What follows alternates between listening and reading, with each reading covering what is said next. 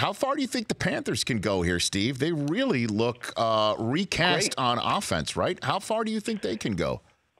Well, uh, a couple of weeks ago, I said they need to play four quarters of football. They've done that. They they kind of messed up in the third quarter, but um, they're looking really good.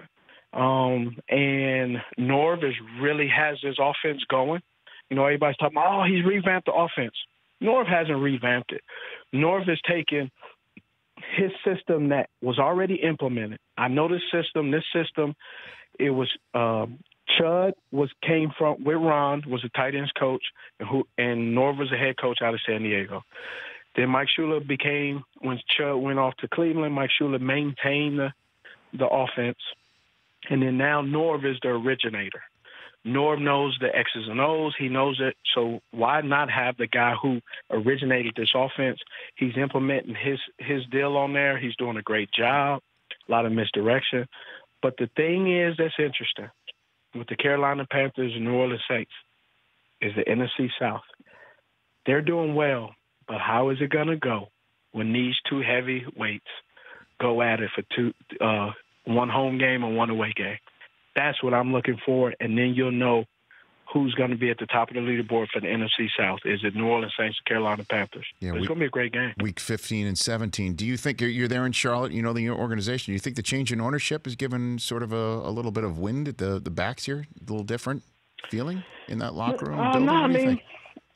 I'm not sure. I, I know. I know Mr. Tepper is is going to implement some things, but um, you know, this football team was a good football team already. Now I know he has allowed some players, Eric Reid, who they got at a bargain, who is who's doing a phenomenal job back there. But I, I think you you will see the imprint and the fingerprint of David Tepper on this organization um, over a period of time. He hasn't even got started yet, so it's it's pretty exciting. But we're living. I live in the South, and sometimes change is not always accepted um, easily, but they will see the fan base will see over time it'll be for the better. All right, last one for you, Steve Smith. Best team in the NFL is through nine weeks is best team. Ooh, yes. NFC, I would have to go to New Orleans Saints. AFC, I think it's a photo finish between New England and Kansas City. I like Kansas City because it's like they're like a traveling uh, track meet. Man, them boys just go. They do. They really do. And how about New England sticking Cordarrelle Patterson back there? Did you ever play running back, even in an emergency, Steve? Did you ever do that? Uh, yeah, I did that in college. Didn't work out too well. Stayed a wide receiver. it's amazing. He's running downhill into the end zone. It was unbelievable.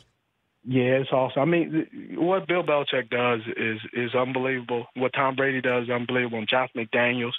Um, hopefully, Josh McDaniels will not have the same success or lack of success that Matt Patricia is having in Detroit. So when he gets his opportunity, he'll be better. But I mean, you, you got Tom Terrific, 40, 90, 55 years old playing quarterback and out there dropping dimes, and you got uh, Nate Peterman out there playing for the other team, and Blake Bortles making $18 million to hand it off to a whole bunch of plethora of running backs. The Rich Eisen Show, weekdays at noon Eastern on Audience.